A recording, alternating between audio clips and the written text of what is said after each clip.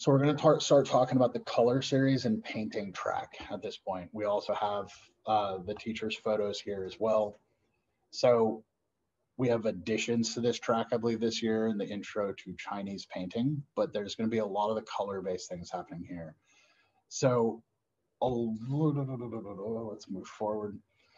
So we're going to start with the basic, the beginner intermediate oil painting track so with the oil painting, one of the things that we've kind of learned over going online is that we've had really high success rates with oil painting online because of the way that we've been able to teach it in live demos that are going on the entire time that students can follow along with the teacher instead of it being more demo and help based. Um, all of these are student works. These are student works from their first and second paintings as well. So that's pretty phenomenal at that point to see that kind of progress that quickly. Um, this is one of those classes that I, if you have not in, been oil painting consistently and you took it last year, you should probably review it. It's a large topic that takes a lot of time to kind of wrap your head around. Painting is pretty complicated and we've got some really, really good teachers in it. So it's a really good opportunity to kind of take, take advantage of those. But the beginner intermediate is the first step and it's primarily black and white to simple color still life. Then we get into this one step more advanced, focusing on more complicated still lifes. Now you're going to see these are all still student work and they're all really, really strong, but they start dealing with much more organic shapes, designs on vases, metals, more complicated formats for their actual compositions, and uh, stressing higher like expectations on the students for value patterns and things of that nature. So heading into more complicated topics. And that's just where this goes is that it goes into more and more complicated. Still life and landscape is the next step in that. This is where you start seeing some very, very amazing floral paintings, very complicated patterns, translucencies. Student work is really, really strong in these areas and hitting multiple topics at the same time. So they're not locked into one. They're also getting to explore with landscape as well. So really, really great class. And it's the beginning where you're going to start seeing some very strong possible portfolio pieces coming out of this class very, very easily. So I think it's worth it's worth taking a look into. Oil painting for pets and animals, much like the drawing and sketch class, this is your opportunity to break away from still life. Painting a live object, something object, a live creature, something that is a little bit, you know, a little bit more difficult to wrap your head around than something that's static. It's going to be photo reference. There's going to be a lot of soft edge versus hard edge control. It's also that first time to start expressing emotion within the painting, painting the live eyes of something and capturing a lot of that, those elements to it. So we have a lot to cover, so I'm going to keep moving. And it just keeps getting more and more advanced within the color series track on the oil painting side of it. We have the portraits. These are all student works and fantastic. Very different topics from each other, all three done very, very well.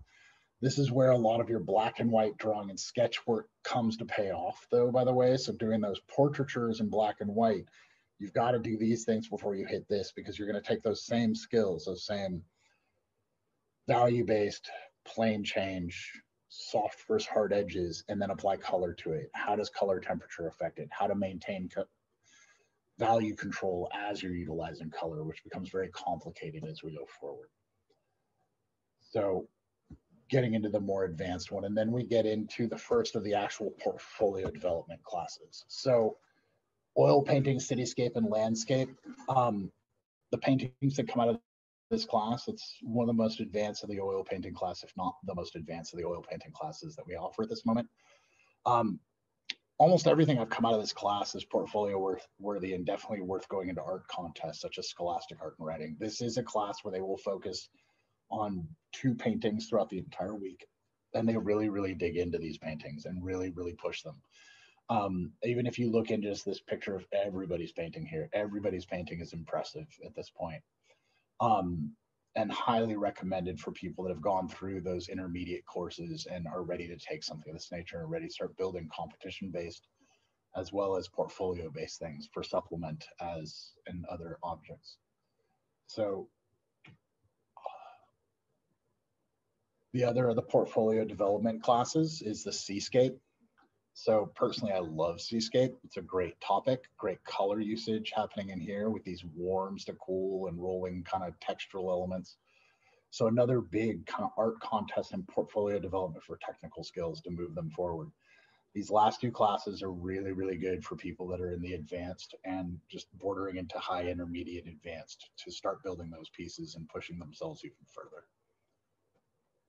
So we're changing into watercolor at this moment.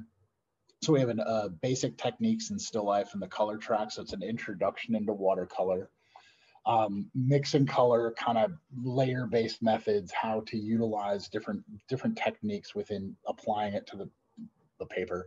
But um, just basically what is the strategy behind it, how to mix different colors, how to express things with brushstrokes, and how the basic medium functions in general.